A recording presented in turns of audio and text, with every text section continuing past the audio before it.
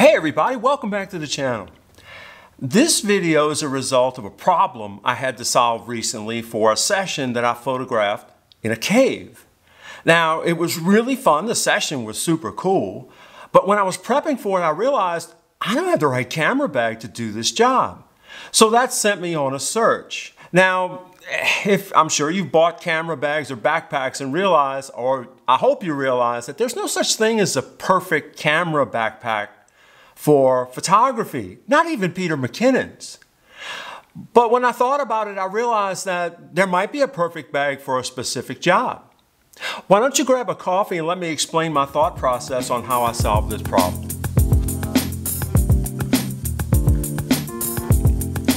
So I had to figure out how I was going to carry my camera gear down into this cave. The main requirement was that I make one trip because it was eight very wet stories down on some treacherous steps and I wasn't about to make multiple trips carrying gear because it was a pretty steep climb and it, it was tough carrying everything on my back. So I had to think, well, what's the bag I need? And I quickly realized that there's no one perfect bag for every photographic job. I started to think differently. I started to think maybe I just need a system of carrying my gear that was job based, where for this kind of job I use this, for that kind of job I use that. And so for this one, obviously I needed a backpack.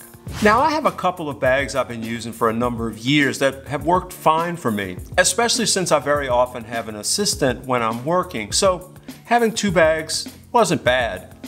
Well, obviously this job I had to change, so I started looking for a camera backpack.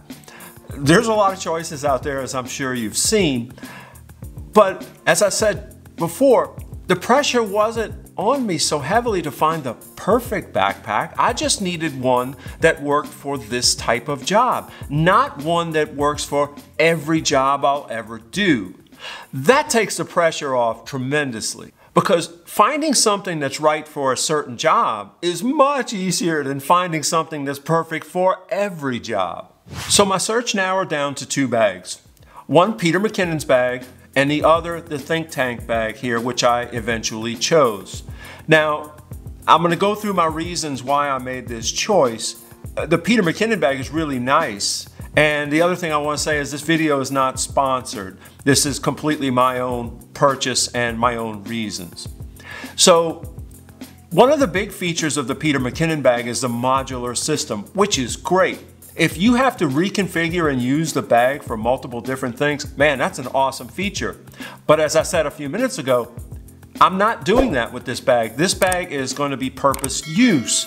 So for the purpose I wanted, the modular system and the top access was irrelevant. What was not irrelevant, however, was the ability of the bag to stand up on its own in that muddy cave. I didn't want the bag to not be able to stand up. That made a difference. And you'd be surprised, that's not a common feature. Needless to say, it had to be well constructed.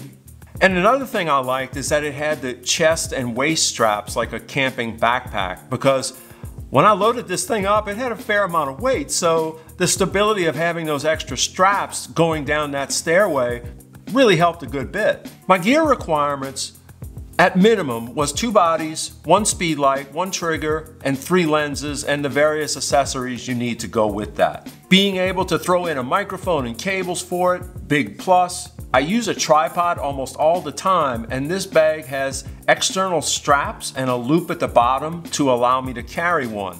That's a huge win. I wouldn't have minded the bag to have more features. I wouldn't have minded the modular system of Peter McKinnon's, but for this job, I really didn't need it. And to be honest with you, carrying that much gear down all those steps, weight was an issue. And I didn't really want to carry one thing more than I absolutely had to.